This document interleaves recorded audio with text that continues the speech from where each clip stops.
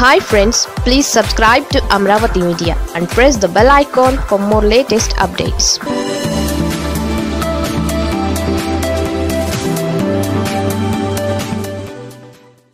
తగ్గేది లేదంటున్న రఘురామ జగన్ అక్రమాస్తుల కేసులపై హైకోర్టులో పిల్. వైసీపీ రెబెల్ ఎంపీ రఘురామ ముఖ్యమంత్రి జగన్ను వెంటాడుతూనే ఉన్నారు. ఇప్పటికే జగన్ బెయిల్ రద్దు చేయాలంటూ సిబిఐ కోర్టులో రఘురామ వేసిన పిటిషన్ పైన ఇప్పటికే విచారణ సాగుతోంది. ఇదే సమయంలో ఇప్పుడు రఘురామ జగన్ అక్రమాస్తులపైన హైకోర్టులో పిల్ దాఖలు చేశారు.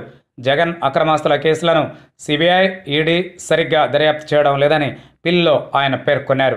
దర్యాప్తులో బయటకు వచ్చిన అంశాలను వదిలిపెట్టాయని రఘురామ తన పిల్లో ఆరోపించారు. కేసులకు ముగింపు ఇవ్వడంలో సిబిఐ ఈడీ విఫలమయ్యాయని ఆయన పిల్లో ఆరోపించారు. అన్ని అంశాలను దర్యాప్తు చేసేలా సిబిఐ ఈడీని ఆదేశించాలని పిల్లో రఘురామ కోరారు. ఇప్పటికే రఘురామ సిబిఐ కోర్టులో జగన్ బెయిల్ రద్దు చేయాలంటూ దాఖలు చేసిన పిటిషన్లో తాను ఎందుకు పిటిషన్ వేసింది రఘురామ వివరించారు. జగన్ పైన కేసులను త్వరగా తేల్చాలనే ఉద్దేశంతోనే పిటిషన్ దాఖలు చేసినట్లుగా చెప్పుకొచ్చారు.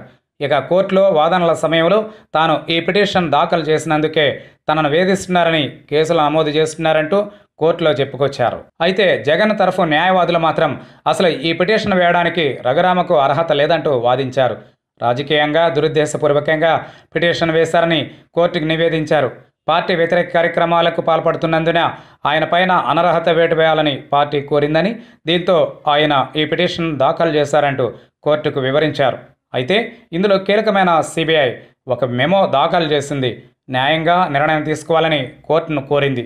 రఘురామ తరఫు న్యాయవాదులు మాత్రం సిబిఐ తమ వాదనలు వినిపించకుండా ఉండడం సరికాదని వారి వాదనలు వినాలని వారు కోర్టును కోరారు. దీంతో రఘురామ జగన్ తరఫు న్యాయవాదులు సిబిఐ సైతం లిఖితపూర్వకంగా వాదనలు వినిపించాలని కోర్టు ఆదేశించింది. ఈ నెల ఎనిమిదవ తేదీకి వాయిదా వేసింది. ఆ రోజున ముగ్గురి తరఫున వాదనలు విన్న తరువాత కోర్టు ఇక జడ్జిమెంట్ దిశగా నిర్ణయం తీసుకునే అవకాశం ఉందని న్యాయవాదులు అభిప్రాయం వ్యక్తం చేస్తున్నారు. దీంతో మరింతగా పట్టు బిగించేందుకే ముందస్తు ప్రణాళికల్లో భాగంగా హైకోర్టులో పిల్ దాఖలు చేసినట్లుగా భావిస్తున్నారు.